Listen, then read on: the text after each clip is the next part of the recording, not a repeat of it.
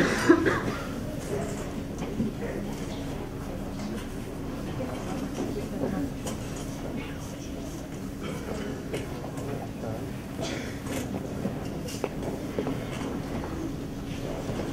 so not writing anything. I, I don't know how much you owe other guys, but I know you owe me 35 bucks.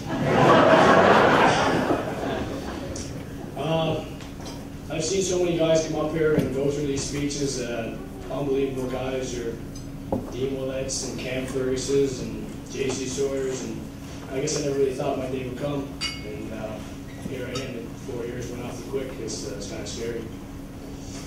Uh, First and foremost, I'd like to start off and thank my family. Uh, They made the trip up for, uh, for this banquet.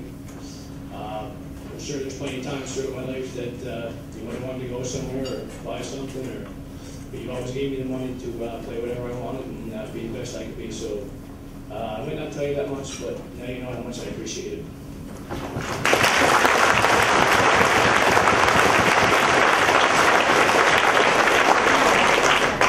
By the way, there's no way I'm going to be as Joey was up here. Uh, second of all, I'd like to thank my, uh, my second set of parents, um, Sharon, uh, Sharon Ash and Lynn Pollock. I mean, I came here four years ago and I was 16, uh, 16 years old, turned 17, and like, uh, like Muriel said, I came here a boy, and for the last four years, you've basically been the parents that I've had to look up to. Uh, whether it was a bad game or a good game, uh, personal reasons, anything at all, you were always there to comfort, support me.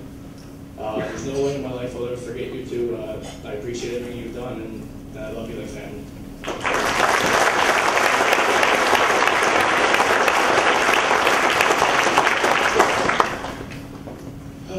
That being said, uh, there's some other families, uh, I'm not gonna name them off, you know, you guys know who you are. Uh, the Billet families that I've been kicking around with over the years, uh, has different players and, and good buddies of mine, and I appreciate everything you've done, all the suppers and the late night parties, I in the raps. But uh, I appreciate all that, and you guys never forgot me. I guess while I'm on the topic of Billet families, I guess last year when I won the school award, I was kind of getting ragged a little bit for not thanking my little personal tutor. So I'm going to have to give uh, Jerica Wilcox a thank you. She, uh, she helped me through a good bit.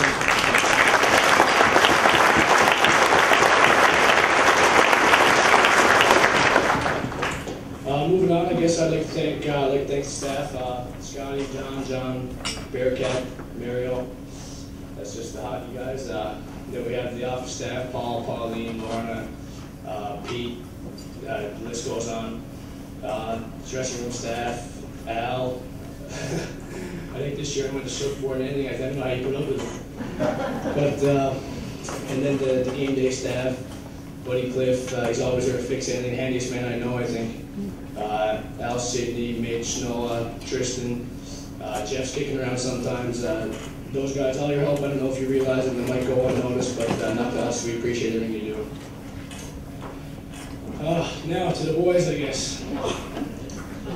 I don't even know what to say about you guys. You guys are nuts. Uh, coming here at uh, coming here at 16, uh, I didn't really know what to expect, and and it's amazing how I can see that in the guys today. And now looking back 20 years old, I see uh, little dog. Where's he at? There he is, little dog.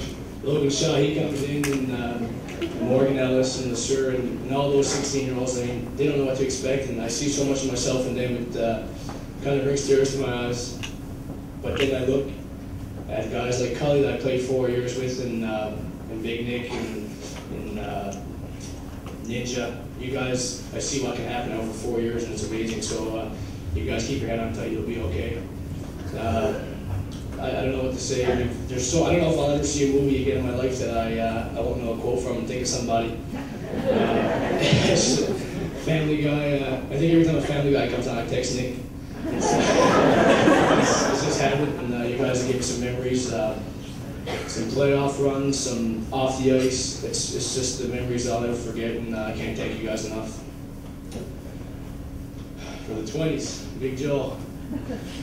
I don't know if uh, I don't know if I'll ever see a guy at two o'clock in the morning that gets to give you on a bus. Uh, I don't know much to say about you, man. You give your heart and soul. every shift, uh, you're crazy. I wouldn't want it any other way, and all I know is that uh, at the end of the season, the people will know we were here.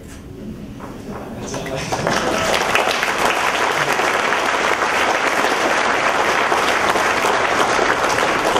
And, uh, big call after four years. Uh, I finally know what to expect in training camp. It's, it's a little funny, I guess I'm gonna tell that story. I was coming in at uh, 16 years old, Cully was here for one year, I knew him for training camp. And I mean, I played under 17 with him, I didn't really know him that much, a couple of words at under 17 just to get, uh, just enough to be teammates really.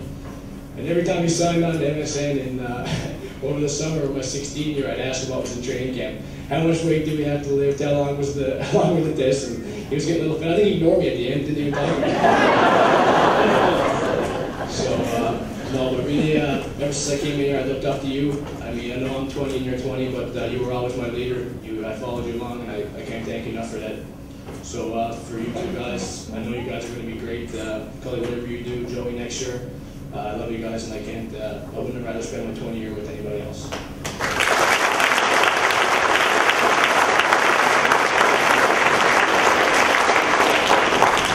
And uh, last but not least, I'd like to thank the uh, fans here in Cape Breton. As I said before, um, no, I'm not an owner here. I'm just, I'm just, uh, like to be. uh, no, but ever since I came here, uh, the transition was smooth. You guys took me in as, uh, as one of your own, and there's not a place I'd rather play. I, as Mario said, I grew from a boy to, to a man in four years, and I owe it all to you guys. There's nothing better than coming on the ice and uh, hearing you guys cheering. When the playoff comes, I know the buzz gets around town, and it gets twice as crazy, and I wouldn't change a minute of it. Uh, I've done a bit of uh, community involvement, and that's only just to try to give back to you guys as much as I can. I, I appreciate everything you do, and uh, I'd say we'll probably just try to go and beat you. That's all I can say.